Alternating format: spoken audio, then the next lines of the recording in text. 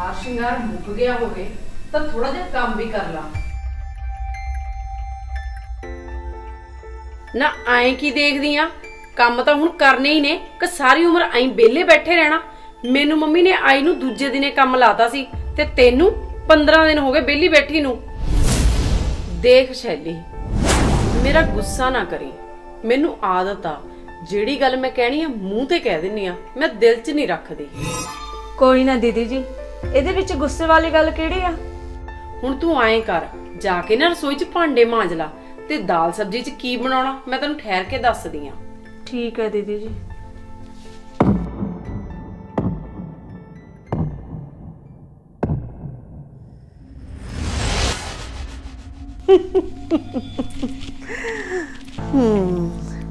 ਕਿੰਨੇ ਕ ਕੰਮ ਮੈਂ ਕਰੀ ਜਾਵਾਂ। ਜਵਾਕਾਂ ਦਾ ਤਾਂ ਮੈਂ ਕਰਨਾ ਹੀ ਕਰਨਾ।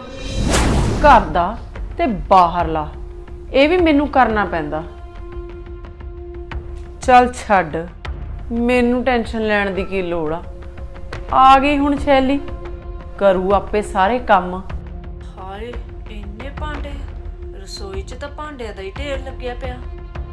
ਇਹ ਤਾਂ ਹੈਗੀ ਵੀ ਇੰਨੀ ਭੋਲੀ ਆ। ਮਿੰਟਾਂ 'ਚ ਦੀ ਮੇਰੇ ਗੱਲਾਂ 'ਚ ਆ ਗਈ। ਸ਼ੈਲੀ ਹਾਂਜੀ ਆਈ ਦੀਦੀ। ਭਾਂਡੇ ਹੋ ਗਏ? ਬਸ ਦੀਦੀ ਥੋੜੇ ਜਿਹੇ ਰਹਿ ਗਏ। ਬੜੀ ਜੱਲੀ ਆ ਤੂੰ। ਕਿੰਨਾ ਟਾਈਮ ਲਾਉਣੀ ਆ ਕੰਮ ਕਰਨ ਨੂੰ? ਮੈਂ ਤਾਂ ਮਿੰਟਾਂ 'ਚ ਦੀ ਕੰਮ ਨਿਬੇੜ ਦਿੰਨੀ ਆ। ਉਹੀ ਹੱਥਾਂ ਨਾਲ ਧੂ ਦਿੰਨੀ ਆ ਕੰਮ ਨੂੰ। ਤੇ ਤੂੰ ਅੱਧਾ ਘੰਟਾ ਹੋ ਗਿਆ ਭਾਂਡੇ ਲੱਗੀ ਨੂੰ। ਹਜੇ ਤੱਕ ਤੇ ਤੂੰ ਭਾਂਡੇ ਹੀ ਨਹੀਂ ਹੋਏ। ਪਰ ਦੀਦੀ ਭਾਂਡੇ ਹੈਗੇ ਹੀ ਬਹੁਤ ਜ਼ਿਆਦਾ ਸੀ। ਤੈਨੂੰ ਹੀ ਜ਼ਿਆਦਾ ਲੱਗਦੇ ਨੇ। ਉਹ ਭਾਂਡੇ ਤਾਂ ਥੋੜੇ ਜਿਹੇ ਸੀ। ਇੰਨੇ ਕ ਭਾਂਡੇ ਤਾਂ ਮੈਂ ਮਿੰਟਾਂ 'ਚ ਦੀ ਨਿਬੇੜ ਦਿੰਨੀ ਆ। ਸ਼ੈਲੀ ਗੁੱਸਾ ਨਾ ਕਰੀ। ਮੈਂ ਤੈਨੂੰ ਪਹਿਲਾਂ ਵੀ ਕਿਹਾ ਸੀ ਵੀ ਮੇਰਾ ਸੁਭਾਅ ਮੂੰਹ ਤੇ ਗੱਲ ਕਹਿਣ ਦਾ। ਬਾਕੀ ਦੇਖ ਭਾਈ, ਹਰੇਕ ਦਾ ਆਪਣਾ ਆਪਣਾ ਦਿਮਾਗ ਹੁੰਦਾ। ਹੁਣ ਮੈਨੂੰ ਤਾਂ ਮੰਮੀ ਨੇ ਕਿਹਾ ਵੀ ਨਹੀਂ ਸੀ ਕੰਮ ਨੂੰ। ਮੰਮੀ ਨੂੰ ਮੈਂ ਕਹਿਣ ਦਾ ਮੌਕਾ ਹੀ ਨਹੀਂ ਦਿੱਤਾ, ਆਪਣੇ ਆਪੇ ਕੰਮ ਨੂੰ ਲੱਗੀ। ਤੇ ਤੈਨੂੰ ਤੈਨੂੰ ਤਾਂ ਮੈਨੂੰ ਕਹਿ ਕੇ ਕੰਮ ਨੂੰ ਲਾਉਣਾ ਪਿਆ। ਅਸਲ 'ਚ ਮੈਨੂੰ ਆਦਤ ਨਹੀਂ ਨਾ ਵਿਹਲੇ ਰਹਿਣ ਦੀ। ਮੈਂ ਤਾਂ ਆਪਣੇ ਆਪ ਨੂੰ ਕੰਮ 'ਚ ਲਾਈ ਰੱਖਦੀ ਆ। ਚੱਲ ਛੱਡ ਤੂੰ ਇਹਨਾਂ ਗੱਲਾਂ ਨੂੰ। ਤੂੰ ਫਟਾਫਟ ਭਾਂਡੇ ਨਵੇੜ ਲਾ ਤੇ ਉਦੋਂ ਬਾਅਦ ਨਾ ਦਾਲ ਸਬਜ਼ੀ ਬਣਾ ਲਈ। ਦਾਲ ਸਬਜੀ? ਵੈਸੇ ਦੀਦੀ ਬਣਾਉਣਾ ਕੀ ਆ? ਓਹੋ ਥੋੜਾ ਜਿਹਾ ਆਪਦਾ ਦਿਮਾਗ ਵੀ ਵਰਤ ਲਾ। ਚੱਲ ਕੋਈ ਨਹੀਂ ਨਵੀਂ ਆਈ ਆ ਤੈਨੂੰ ਮੈਂ ਦੱਸ ਦੂੰਗੀ। ਐਂ ਕਰ ਤੂੰ ਛੋਲੇ ਭਟੂਰੇ ਬਣਾ ਲਾ। ਰਾਜ ਦੇ ਫੇਵਰਟ ਨੇ। ਚਲੋ ਠੀਕ ਆ ਦੀਦੀ।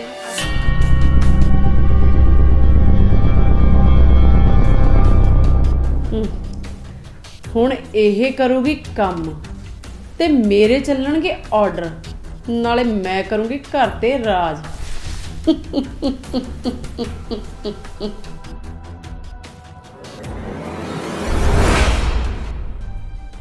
ਹੈਲੋ? ਹਾਂ ਮਨਦੀਪ। ਫਿਰ ਕਿਵੇਂ ਆ ਤੇਰੀ ਦਰਾਣੀ? ਪੁੱਛ ਨਾ ਅੱਜ ਮਸਾਂ ਰੋਟੀ ਤੇ ਲਾਈ ਆ। ਲਾਲੀ? ਪਰ ਹਜੇ ਤਾਂ ਵਿਆਹ ਨੂੰ 15 ਕੁ ਦਿਨ ਹੀ ਹੋਏ ਨੇ। ਹੋਰ ਕੀ 15 ਦਿਨ ਤਾਂ ਬਹੁਤ ਹੁੰਦੇ ਨੇ। ਮੈਂ ਤਾਂ ਦੂਏ ਦਿਨੇ ਰੋਟੀ ਤੇ ਲੱਗ ਗਈ ਸੀ। ਚੱਲ ਤੈਨੂੰ ਨਹੀਂ ਕੋਈ ਜਿੱਤ ਸਕਦਾ। ਅੱਛਾ ਐਂ ਦੱਸ ਲੈ ਕੇ ਕੀ ਕੀ ਆਈ ਹੂੰ, ਲੈ ਕੇ ਆਈ ਆ ਇਹ ਸਵਾਦ ਖੇ। ਕੀ ਮਤਲਬ? ਮਤਲਬ ਇਹੀ ਵੀ ਗਰੀਬ ਘਰ ਤੋਂ ਆਈ ਆ ਇਹ। ਅਗਲਿਆਂ ਨੇ ਚੁੰਨੀ ਚੜਾ ਕੇ ਹੀ ਤੋਰਤਾ। ਲੈ ਦੱਸ ਤੂੰ ਤਾਂ ਦਾਸ ਚ ਗੱਡੀ ਲੈ ਕੇ ਆਈ ਸੀ ਤੇ ਐਤਕੀ ਤੇਰੀ ਸੱਸ ਨੇ ਬਿਨਾਂ ਦਾਸ ਤੋਂ ਵਿਆਹ ਕਿਵੇਂ ਕਰਤਾ? ਪੁੱਛ ਨਾ ਮਾਤਾ ਨੂੰ ਤੇ ਰਾਜ ਨੂੰ ਪਤਾ ਨਹੀਂ ਇਹਦੇ ਚ ਕੀ ਪਸੰਦ ਆ ਗਿਆ। ਆਖੇ ਵਿਆਹ ਕੇ ਤਾਂ ਇਹੀ ਲਿਆਉਣੀ ਆ। ਅੱਛਾ ਤੂੰ ਵੀ ਕਰਾ ਰਹੀ ਸੀ ਰਿਸ਼ਤਾ ਤੇ ਉਹਨੂੰ ਵੀ ਨਹੀਂ ਮੰਨੇ? ਕਿੱਥੇ? ਮੈਂ ਤਾਂ ਜ਼ੋਰ ਲਾ ਲਾ ਕੇ ਥੱਕ ਗਈ ਪਰ ਇਹਨਾਂ ਨੇ ਮੇਰੀ ਮੰਨੀ ਨਹੀਂ। ਉਹ ਭਾਵੇਂ ਮੋਟੀ ਸੀ ਕਾਲੀ ਸੀ ਪਰ ਉਹਨੇ ਸਮਾਨ ਦਾ ਤਾਂ ਟਰਾਲਾ ਭਰ ਕੇ ਲਿਆਉਣਾ ਸੀ। ਅੱਛਾ ਜੀ। ਜਾਣੀ ਕਿ ਕੁੜੀ ਪੂਰੀ ਰਿਚ ਫੈਮਿਲੀ ਚੋਂ ਆ। ਹੋਰ ਕੀ? ਚੱਲ ਕੋਈ ਨਾ ਇਹਨਾਂ ਨੂੰ ਹੌਲੀ ਹੌਲੀ ਪਤਾ ਲੱਗੂ। ਚੱਲ ਠੀਕ ਆ। ਮੈਂ ਫੇਰ ਗੱਲ ਕਰੂੰ। ਮੈਂ ਵੀ ਆਪਣੀ ਦਰਾਣੀ ਨਾਲ ਕੰਮ ਕਰਾਦਾ ਉਹ ਵੀ ਵਿਚਾਰੀ ਇਕੱਲੀ ਲੱਗੀ ਹੋਈ ਆ।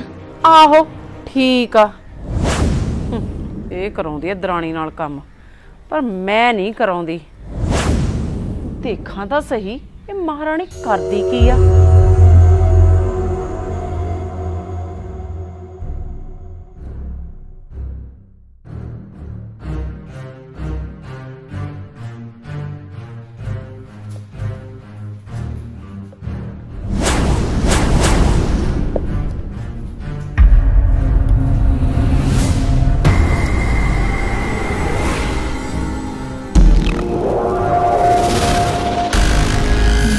ਗਈ ਤਾਂ ਗਈ ਕਿੱਥੇ?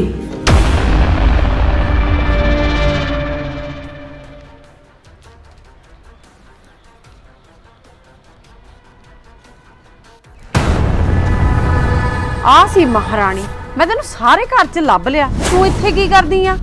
ਵੈਸੇ ਹੀ ਦੀਦੀ ਤੁਸੀਂ ਫੋਨ ਤੇ ਲੱਗੇ ਹੋਏ ਸੀ ਤੇ ਮੰਮੀ ਘਰੇ ਹੈ ਨਹੀਂ ਸੀ। ਮੇਰਾ ਜੀ ਨਹੀਂ ਲੱਗ ਰਿਹਾ ਸੀ ਮੈਂ ਤਾਂ ਕਰਕੇ ਉੱਪਰ ਆ ਗਈ ਸੀ। ਨਾ ਕੰਮ ਸਾਰੇ ਹੋ ਗਏ? ਜਿਹੜਾ ਇੱਥੇ ਗੇੜੇ ਕੱਢੀ ਜਾਨੀ ਆ? ਹਾਂਜੀ ਦੀਦੀ ਮੈਂ ਰਸੋਈ ਦਾ ਸਾਰਾ ਕੰਮ ਨਵੇੜਿਆ ਈ। ਅੱਛਾ। ਚੱਲ ਹੁਣ ਤੂੰ ਐਂ ਕਰ ਕੱਪੜੇ ਧੋ ਲਾ। ਕੱਪੜੇ? ਹਾਂ ਉਹ ਅਸਲ 'ਚ ਆਪਣੀ ਨਾ ਮਸ਼ੀਨ ਖਰਾਬ ਹੋ ਗਈ। ਮੇਰੇ ਵੀ ਨਾ ਹੱਥਾਂ 'ਚ ਥੋੜਾ ਦਰਦ ਜਿਹਾ ਹੋਈ ਜਾਂਦਾ। ਨਹੀਂ ਤਾਂ ਮੈਂ ਤੈਨੂੰ ਕਹਿਣਾ ਹੀ ਨਹੀਂ ਸੀ ਮੈਂ ਤਾਂ ਆਪੇ ਧੋ ਦੇਣੇ ਸੀ ਕੱਪੜੇ।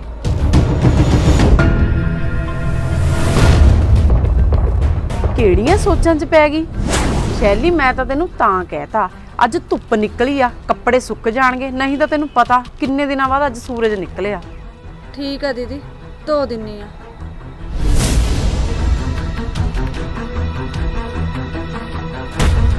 ਮੇਰੀਆਂ ਤਾਂ ਮੌਜਾਂ ਹੀ ਹੋ ਗਈਆਂ। ਮੈਂ ਆਰਾਮ ਨਾਲ ਹੁਣ ਧੁੱਪ ਸੇਕਦੀ ਆ।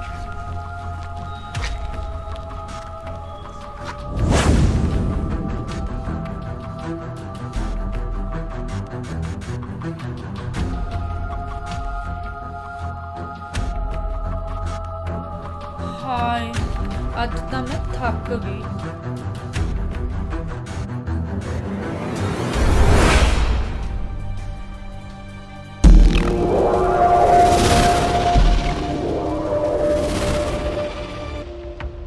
ਕੀ ਗੱਲ?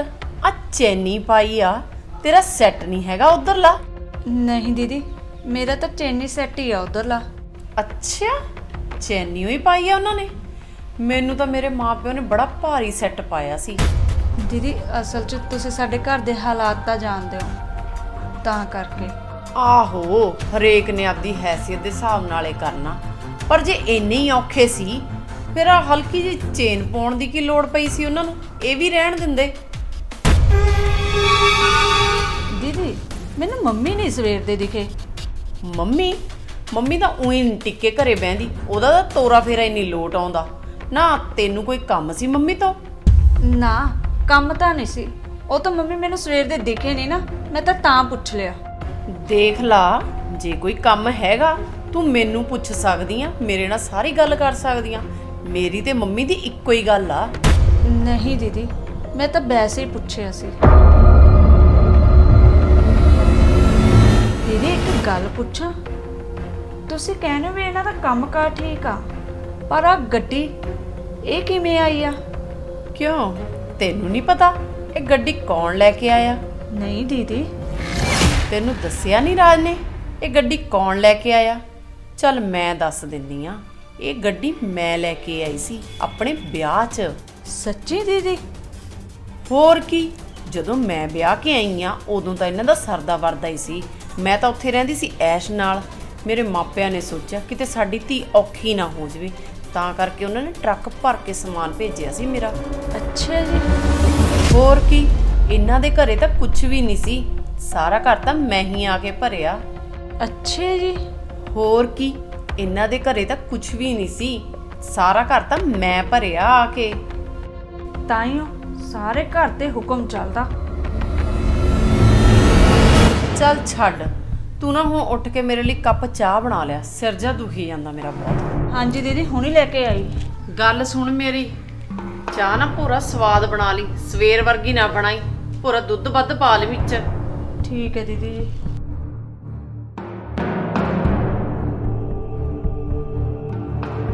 ਜੀ ਚੱਲ ਆਹ ਕੰਮ ਤਾਂ ਬਾਲਾ ਹੀ ਵਧੀਆ ਹੋ ਗਿਆ ਜਿਹੜੀ ਮੇਰੀ ਕੰਮਾਂ ਤੋਂ ਛੁੱਟੀ ਹੋ ਗਈ।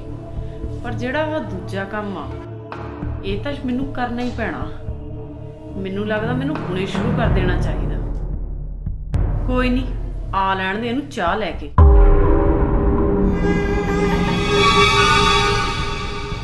ਹਲੋ ਦੀਦੀ ਚਾਹ। ਸ਼ੈਲੀ ਬੈਠ। ਮੈਂ ਤੇਰੇ ਨਾਲ ਇੱਕ ਗੱਲ ਕਰਨੀ ਸੀ। ਹਾਂਜੀ ਬੋਲੋ ਦੀਦੀ। ਭਲਾ ਕੋਈ ਆਈਡੀਆ ਹੈਗਾ?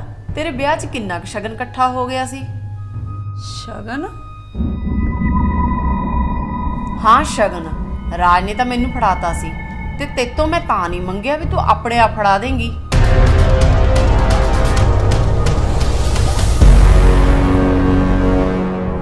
ਰਾਜ ਨੇ ਤੁਹਾਨੂੰ ਫੜਾਇਆ ਸੀ ਸ਼ਗਨ?